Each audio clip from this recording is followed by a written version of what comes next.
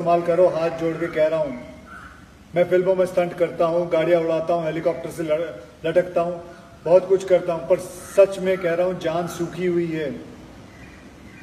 मज़ाक नहीं है इस टाइम ये, बीमारी के सामने सबकी हालत बुरी है, पूरी दुनिया की हालत बुरी है। अपने परिवार के हीरो बन सकते हो तुम लोग।